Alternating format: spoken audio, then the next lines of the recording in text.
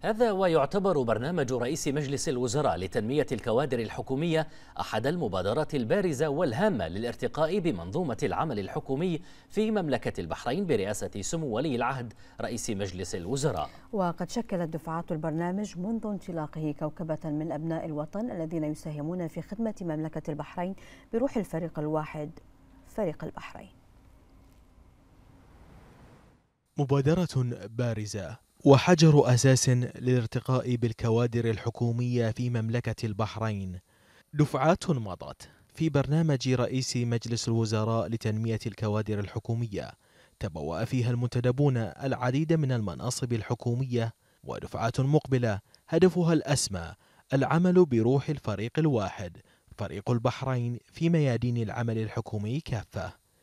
يأتي هذا البرنامج تماشيا مع رؤية صاحب السمو الملكي ولي العهد رئيس مجلس الوزراء لخلق كوادر وطنية قيادية تشارك في التطوير والتنمية من أجل نهضة مملكة البحرين حيث صمم لانتداب الكفاءات البحرينية الشابة والمتميزة من الجهات الحكومية لمدة عام واحد إلى مكتب رئيس مجلس الوزراء وتدريبهم على مستوى عال بما يخدم عملهم الأساسي في جهات عملهم الحكومية الأصلية.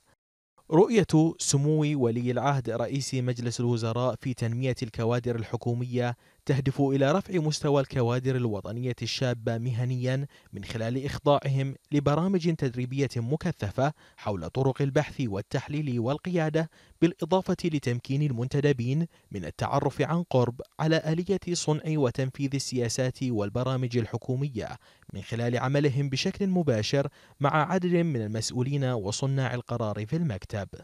وجه سمو ولي العهد رئيس مجلس الوزراء بتشكيل لجنة تختص بمتابعة منتسبي البرنامج بعد تخرجهم.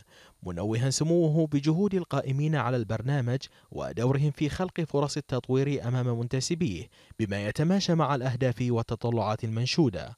والطموح المستقبلي يكمن في حث سموه الكوادر الوطنية على أن يكون الإنجاز عنوان عملها والتميز هدفها. والتنافسية والعدالة والاستدامة هي المبادئ التي يستند إليها فالوطن لا ينهض إلا بأيدي أبنائه وبناته في كافة القطاعات ونحن نعيش في عالم لا مكان فيه لغير التميز والإبداع.